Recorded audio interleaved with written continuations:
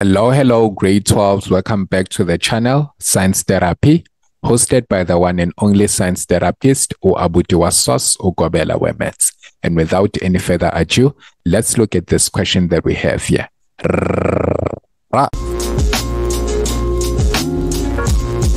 Okay, so we are given question seven. It says in the diagram below, A, B, and C are in the same horizontal plane P is a point vertically above A. The angle of elevation from B to P is alpha, and then ACB is beta, ABC is theta, and BC is 20 units. So basically, everything has been indicated here on the diagram. Then uh, 7.1 says write AP in terms of AB and alpha. So we can see everything that they've talked about, the AP, AB, and alpha are all in this triangle here, APB right? So this is triangle APB. So we're going to say in triangle APB, this is what we have. Now, remember, we are trying to write AP in terms of AB and alpha. So this is our AP in reference to the alpha. This is our A AP, which is the opposite side, and the AB is the adjacent side. Now, according to SOHCAHTOA, uh, what trig ratio should we use now? We should use tan because we have the opposite side and the adjacent side. So this will be tan alpha. Our opposite is AP, but our adjacent is AB. But then we are supposed to make AP the subject of the formula. So that AP is equals to AB tan alpha right? So for two marks, that's all you were supposed to do. So this was 7.1. Now 7.2 says says prove that AP is 20 sine B tan alpha over sine theta plus beta, right? Then, okay, this is how you should do it. Remember, we are still within the strategy that says that we must look for the common side in between the given triangles, right? So the other triangle that we are given is triangle ABC. And then as we can see here, the common side is AB. So in all these expressions, we should try to have AB. We already have AB from a triangle APB. That means we must also try to express in terms of AB in triangle ABC. So we're going to go uh, ahead and say in triangle in triangle ABC, this is what we have. This is a non-right angle triangle. That means SOHCAHTOA cannot apply here. We can only apply the what? The sine rule. But then in order to get the sine rule, we need to find uh, the angle in here. So if we have theta here and then we have beta, what is the angle in here? We need to say 180 minus the theta minus the beta. So we can write it as 180 minus theta plus beta right?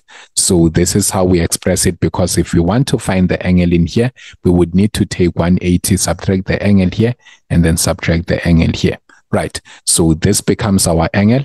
And then now uh, to express this, remember we should express in terms of AB because this is the common side. But then we are trying to find uh, the value for AP. Now let's go ahead. We're going to say sine 180 minus a, uh, so bigger bracket, 180 minus theta plus beta inside the bracket and then close it off with the bigger bracket. And then this uh, is opposite to which side is opposite to the 20 there, 20 units. And then is equals to, if we are taking the sine beta there, this is opposite to this uh, common side, which is AB. So it is best that we take that one. And then we can see that we are still uh, in the picture there because as we can see here, the angle that we have is beta. So this is sine beta over uh, AB, right? Over AB. Now here, this is in the second quadrant. This is still the same as using your reduction formulae for the second quadrant, if you have sine 180 minus a, we know that this uh, reduces to sine a. So the same thing will happen here. This here, you will treat it as angle A. This is a whole angle. So you need to say sine theta plus beta, the same way you did here. So you treat this theta plus beta as if it was angle A. Then over what? Over 20 is equals to sine beta over AB. Now let's cross multiply here. We will have AB as uh, sine theta plus beta is equals to cross multiply here 20 sine beta. Right. Then if we make AB the subject of the formula, we need to divide both sides by this sine theta plus beta. So both sides sine theta plus beta. Right. Then now this and this obviously cancels out. So we have a AB is equals to 20 sine beta over sine theta plus beta. Then let's call this equation number two. And then what we have up here, equation number one. Now at this point, we can say, let's substitute. So we are going here. Let's substitute equation two into equation one, right? So in the place of AB, I will substitute this whole expression. So that means I will have AP is equals to what? 20 sine beta over sine theta plus beta. But then remember, I'm left with this tan, tan uh, alpha here. So that's multiplied by tan alpha. And then just like that, you can see that my AP is 20 sine beta and then tan alpha over sine theta plus beta, which is exactly what we were trying to prove here. So that's how you were supposed to go about it. And then, yeah, this was only for uh, for only three marks. So you might say that uh, they were a bit unfair in terms of the mark allocation, but then uh, it is what it is. At the end of the day, you were just uh, supposed to prove that. Okay, so now let's move to 7.3.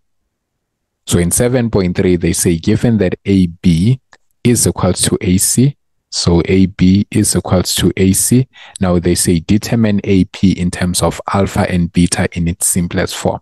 Now, if AB is equals to AC, we know that triangle ABC is now what we call an isosceles triangle, right?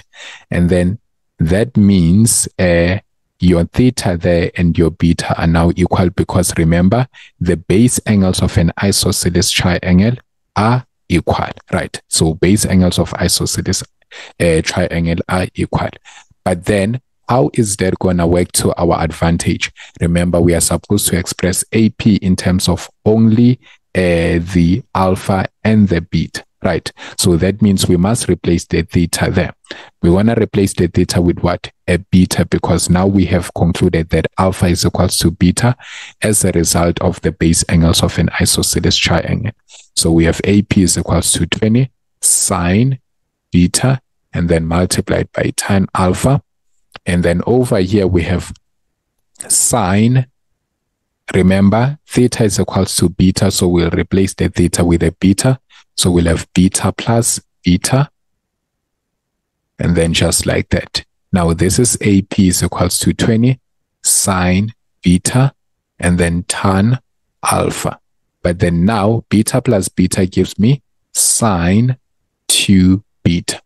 Now looking at this, we can see that from grade 12, this will produce a double angle identity for sine.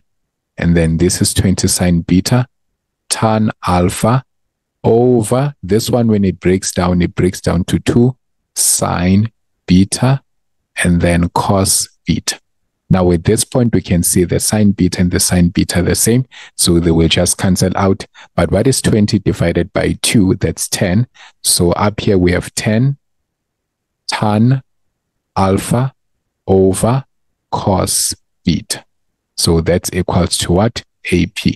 So this is our AP in its simplest form. And that's how you were supposed to approach this question, all for a total of eight marks. So just like that, we've came to the end of the lesson. So please press the thumbs up button if you've enjoyed the lesson and then you found it helpful. And if you've been watching the videos and haven't subscribed yet, please hit that subscribe button. But most importantly, please share the link with your friends and classmates so that they may also find assistance. Remember, do not be selfish. We are winning as a team.